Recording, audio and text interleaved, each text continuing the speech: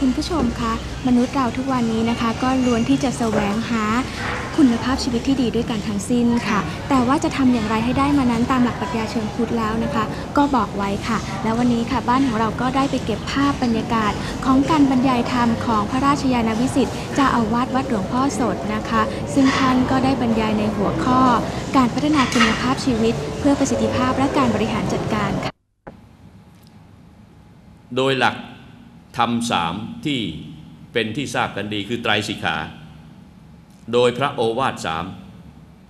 คือสัพพปัสสะอาการนัง กุศลัดสู้ประสัมปทา สจิตตะปริโยตปนัง เอตังพุทธานาสาสนัง ว่าการไม่ประพฤติบาปอากุศลทั้งปวง การยังบุญกุศลให้ถึงพร้อม การชำระจิตใจให้บริสุทธิ์ผ่องใสนำไปสู่ปัญญาอันเห็นแจ้งในสภาวธรรม และอริยสัจธรรมตามที่เป็นจริง นี้เป็นคำสอนของพระพุทธเจ้าทั้งหลาย ตั้งแต่อดีตถึงปัจจุบันและที่จะมีต่อไปในอนาคตทุกพระองค์ เราจะเห็นแนวทางหรืออาการตรัสรู้ของพระพุทธเจ้า เป็นมาอย่างนี้ และพระองค์ได้ทรงบรรลุพระอนุตตรสัมมาสัมโพธิญาณ เป็นสมเด็จพระสัมมาสัมพุทธเจ้า ในรุ่งอรุณคืนวันเพ็ญเดือนวิสาขะเมื่อ 2,593 ปีที่ผ่านมานี้แหละ และก็เอามาสอนเรา นี่แหละครับ ทีนี้เมื่อกระผมเองขอเล่าลัดตัดความ ได้เข้าไปศึกษาธรรมะปฏิบัติ ในสำนักวัดปากน้ำภาษีเจริญ ตนเองนั่นยังไม่ก้าวหน้ามากนัก แต่ลูกๆสามคน คนหนึ่งอายุ 12 ขวบคนที่นี่คนเล็กสุดคนกลาง 13 คนโต 14 ปฏิบัติได้ผลดี ก็สามารถที่จะรู้เห็นนรกสวรรค์ได้ สามารถจะรู้เห็นอดีตชาติได้ ให้เห็นว่าการหมกมุ่น ไม่สำรวมในกามสำสอนในกาม หรือประพฤติผิดศีลข้อกาเมสุมิชฌาจารนั่นมีผลให้เมื่อตายลง ไปเกิดในทุกติภูมิ เช่น เป็นสัตว์นรก หรือเป็นสัตว์เดรัจฉาน ช่นสุนัขมากต่อมาก และหรือ ผู้ที่เสพและติดสิ่งเสพติดมึนเมาให้โทษเป็นที่ตั้งแห่งความประมาท ติดแม้แต่เพียงเล็กน้อย ก่อนตาย จิตที่เคยติด สิ่งเสพติดมึนเมาให้โทษเป็นที่ตั้งแห่งความประมาทนั้นนั่นแหละนำให้ไปเกิด หรือเป็นชนกกรรมนำให้ไปเกิด ในทุกติภูมิ คือ เป็นสัตว์นรกมากต่อมาก ดังนี้เป็นต้นนี่สมดังที่สมเด็จพระสัมมาสัมพุทธเจ้า ได้ตรัสไว้ ว่าจิตเต สังกิริเถ ทุกติปาติกังขา เมื่อจิตเศร้าหมองแล้วทุกติเป็นอันหวังได้ จิตเตอสังกิริเถสุกติปาติกังขา เมื่อจิตไม่เศร้าหมองคือผ่องใสแล้วสุกติเป็นอันหวังได้ จิตเศร้าหมองเพราะอากุศลกรรมบท ความประพฤติผิดทางกายเรียกว่ากายทุจริตสามความประพฤติผิดทางวาจา เรียกว่าวาจีทุจริตสี่ความประพฤติ ผิดหรือบาปอากุศลทางใจสามเรียกว่ามโนทุจริตสามดังนี้ และอบายมุขในส่วนสำคัญ ที่ยิ่งกว่าความประพฤติผิดศีล ดังที่กระผมยกตัวอย่างมาเมื่อกี้นี้ว่าการเสพสิ่งเสพติดมึนเมาให้โทษเป็นที่ตั้งแห่งความประมาท การหมกมุ่นสำสนในกาม หรือไม่สำรวมในกาม การติดการพนันเป็นต้น นี่สามในหกข้อ แต่ยกมากล่าวเพียงสามซึ่งเป็นข้อที่หนัก เหล่านี้ผู้ประพฤติปฏิบัติเมื่อแตกกายทำลายขัน ก่อนตายจะเป็นประพฤติอกุศลกรรมบท หรือประพฤติผิดศีล เช่น ประพฤติผิดศีลห้าหรือติดอยู่ในอบายมุขดังได้ยกตัวอย่างทั้งสามประการดังกล่าวข้างต้น นี้ชื่อว่าเป็นบาปอากุศล เมื่อประพฤติปฏิบัติแล้วติดอยู่ในจิตใจนั่นแหละ ก่อนตายจิตดวงสุดท้ายที่จะได้เห็นและประทับใจในกรรมนิมิตอารมณ์ใด หรือ คตินิมิตอารมณ์ใด ที่มักจะเกิดขึ้น ก่อนตายนะกรรมดีก็ตามกรรมชั่วก็ตามที่บุคคล หรือสัตว์โลกประพฤติไปแต่ทุกชั่วโมงนาทีนั้น อย่านึกว่าหายไปไหน ประทับอยู่ในจิตสันดานก่อนตายเมื่อจิตตกศูนย์ อยู่ในสภาวะโคม่า ดวงตาเหลือบกลับเนี่ย พูดก็ไม่ได้ได้แต่เพ้อเหมือนคนขาดสติสำหรับบางราย เพราะเห็นนิมิตอารมณ์ กรรมนิมิตอารมณ์ ที่เคยทำไม่ดี ก็เกิดความเดือดร้อนในใจว่าตนไม่มีที่พึ่ง หรือบางคนเห็นคตินิมิตอารมณ์ ที่ว่า เป็นภพภูมิที่จะไปเกิดใหม่ เช่นเห็นไฟไหม้วับวับวับอยู่ ดังนี้เป็นต้น นั่นแปลว่า จะไปเกิดเป็นสัตว์นรก ดังนี้จิตดวงสุดท้ายก่อนจะดับ ประทับใจ นิมิตอารมณ์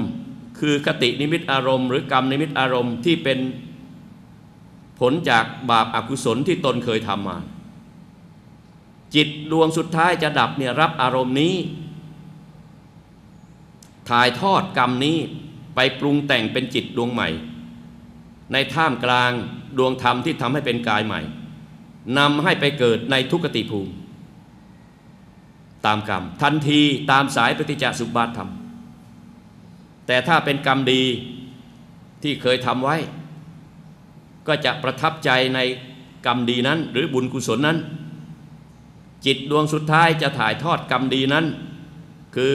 กรรมนิมิตอารมณ์หรือกตินิมิตอารมณ์นั้น ปรุงแต่งเป็นจิตดวงใหม่ในท่ามกลางดวงธรรมที่ทำให้เป็นกายใหม่นำให้ไปเกิด ในสุคติภพตามกรรม ตามระดับภูมิธรรมที่ปฏิบัติได้ เช่น ระดับมนุษยธรรม เทวธรรม พรหมธรรมเป็นต้น ก็ไปเกิดในภพภูมินั้น ทันทีตามสายปฏิจจสุบาทธรรม นี้เรียกว่าการเกิดใหม่ข้ามภพข้ามชาติ แต่ในระหว่างดำเนินชีวิตอยู่ทำดีก็ตามทำชั่วก็ตาม มีความเปลี่ยนแปลงกายในกายเวทนาในเวทนาจิตในจิตและธรรมในธรรมเป็นสุคติพบบ้างเป็นทุกติพบบ้างตามกรรม นี้ทันทีตามสายปฏิจจสุบาทธรรมทุกวินาที แต่กายทำลายขันช่วงไหนก็ กายเวทนาจิตธรรมนั้น จิตดวงนั้น ถ่ายทอดกรรมนั้นนำไปสู่นำไปเกิดในภพภูมิใหม่ ดังนี้เป็นต้น ตามสายปฏิจจสุบาทธรรม ดีก็ตามชั่วก็ตาม ตราบใดที่อวิชชาตันหาอุปาทานยังไม่สิ้น ตราบนั้นต้องเกิดใหม่เสมอไป นี้เป็นการปฏิบัติ ที่ให้เจริญปัญญาจากการที่ได้ทั้งเห็นและทั้งรู้ กระผมจึงมีภาพประทับใจ ว่าจากผลการปฏิบัติของครูอาจารย์ และของบุตร บุตรนั่นเล็กไม่เดียงสา รู้เห็นอย่างไรตอบอย่างนั้น เพราะฉะนั้นอันนี้เป็นความจริง จึงสรุปว่าธรรมะปฏิบัติ ที่เข้มสมถะภาวนาให้จิตตั้งมัน่นเพื่อชำระจิตใจให้บริสุทธิ์ผ่องใสควรแก่งาน ตั้งแต่ระดับปฐมฌานขึ้นไป นี้ตรงตามพระธรรมคำสั่งสอนของพระพุทธเจ้าคือมรรคมีองค์แปดคือสัมมาสมาธิ ซึ่งเป็นหนึ่งในมรรคมีองค์แปดนี่ข้อหนึ่งที่ประทับใจมาก นำไปสู่การเจริญอภิญญาและวิชา ตามรอยบาทพระพุทธองค์ ให้สามารถรู้เห็นได้ตามที่เป็นจริง นี่เป็นประการสำคัญ ความประทับใจอันนี้ทำให้กระผมคิดถึง ว่าถ้าในกิจการพระศาสนาของเรา ได้เจริญด้วยพระปริยัติธรรม ปฏิบัติพระสัตธรรม และการบริหารจัดการที่ดี พระศาสนาของเรา จะต้องเจริญและมั่นคง ไม่มีใครทำลายได้ และจะช่วยสังคมประเทศชาติได้มาก เพราะการแนะนำสั่งสอนจะถูกต้องตรงประเด็น และเป็นที่น่าประทับใจแก่ผู้ฟัง ให้น้อมเขามาปฏิบัติตาม เป็นอนุสาสนีปาฏิหาริย์เป็นไปได้อย่างมีประสิทธิภาพนะครับ ทีนี้พระเดชพระคุณทั้งหลายจะเห็นว่า ที่กระผมเล่ามานี้เป็นประสบการณ์ ว่าการบริหารการจัดการตลอดไปถึงการปกครอง กิจการคณะสงฆ์นั้น ยังมีจุดที่จะต้องเพิ่มพูน เสริมเพิ่มพูนให้เข้มแข็งให้ดีขึ้นอีกมาก แต่กระผมไม่มีอำนาจหน้าที่ไปเปลี่ยนแปลงไปปรับปรุงอะไรใครได้ มี อย่างเดียวคือทำที่วัดของเรากระผมจึงมาทำทีนี้ทำอย่างไร ตรงนี้แหละครับทำอย่างไร ที่จะสามารถพัฒนาคุณภาพชีวิตของตนเอง และของหมู่คณะ ให้ดำเนินชีวิตโดยเฉพาะอย่างยิ่ง ในฐานะของสมณะ หรือพระภิกษุ ที่ดีพอสมควร พยายามที่จะไม่ให้ตนเองและพาหมู่คณะ ไปสู่ความเจริญและสันติสุข ถึงความพ้นทุกข์ได้ตามแนวทางพระพุทธศาสนา และให้สามารถช่วย แนะนำสั่งสอน หมู่คณะในวัด และสั่งสอนสาธุชน พุทธบริษัททั้งหลาย ให้รับรู้ให้เรียนรู้ บาปบุญคุณโทษ ดีชั่ว เพื่อดำเนินชีวิตตนไปสู่ความเจริญรุ่งเรืองและสันติสุขได้ ให้พ้นทุกข์ได้ตามสมควรแก่